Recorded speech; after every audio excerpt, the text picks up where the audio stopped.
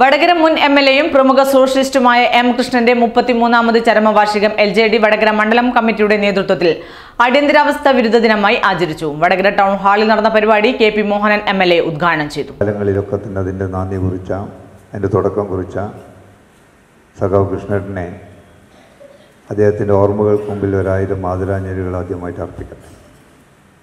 ഞാൻ കൂടുതൽ കാര്യങ്ങളൊന്നും കൃഷ്ണനെ കുറിച്ച് പറയണമെന്ന് ആഗ്രഹിക്കുന്നില്ല. സോഷ്യലിസ്റ്റുകളെ സംബന്ധിച്ചിടത്തോളം കൃഷ്ണേട്ടൻ ഒരു പാഠമായിരുന്നു. അതോടൊപ്പം തന്നെ സഹകരണ രംഗത്ത് തന്റേതായ പ്രവർത്തനം നടത്തിക്കൊണ്ട് മുന്നോട്ട് പോവുകയും എങ്ങനെ എന്ത് എന്ന് വടകരക്കാർക്ക് സഹകരണ രംഗത്തിന്റെ ഒരു അവബോധം കൂടുതലായിട്ട് ഉണ്ടാക്കിയെടുക്കാനും കൃഷ്ണേട്ടനെ കൊണ്ട് സാധിച്ചിട്ടുണ്ട്. ആ കൃഷ്ണേട്ടനെ കുറിച്ച് ഓർമ്മിക്കുന്നത് നമ്മൾ ഇന്ന് ജൂൺ ഇരുപത്തഞ്ചിനാണ്.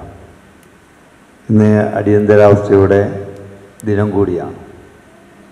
ആ അടിയന്തരാവസ്ഥ ദിനത്തിൽ അടിയന്തരാവസ്ഥ വിരുദ്ധ ദിനം ആചരിക്കുകയാണ് എൽ ജെ ഡി സംസ്ഥാന തലത്തിലൊട്ടാകെ. പ്രമുഖ മാധ്യമപ്രവർത്തകൻ T K Harshan secular India വർത്തമാനവും ഭാവിയും എന്ന വിഷയത്തെ അനുകരിച്ച് സംസാരിച്ചു. ആ പേര് ആ സൽപ്പേര് നിലനിർത്താൻ ഇന്ത്യക്കാവുന്നില്ല.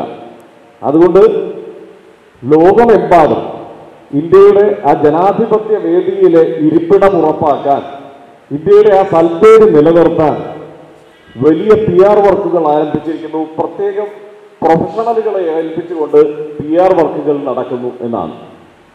അതായത് ഈ രണ്ടായിരത്തി ഇരുപത്തി മൂന്നിന് മുൻപ് സമാനമായ ഒരു സംഭവം ഉണ്ടായത് ആയിരത്തി തൊള്ളായിരത്തി എഴുപത്തി അഞ്ചിലാണ് ഈ നിലയ്ക്ക് ലോകവേദികളിൽ ഇന്ത്യ ഇന്ത്യയുടെ ജനാധിപത്യ സ്ഥാനം ഉറപ്പിക്കാൻ അല്ലെങ്കിൽ ആ സ്ഥാനത്ത് നിന്ന് പിന്നോട്ട് പോകാതിരിക്കാൻ ലോകരാജ്യങ്ങളെ ക്യാൻവാസ് ചെയ്യാൻ പി ആർ ഏജൻസികളെ ഏൽപ്പിച്ചത് മനയത്ത് ചന്ദ്രൻ അനുസ്മരണ പ്രഭാഷണം നടത്തി. കെ കെ കൃഷ്ണൻ അധ്യക്ഷത വഹിച്ച ചടങ്ങിൽ പ്രസാദ് വിലങ്ങിൽ സ്വാഗതം പറഞ്ഞു.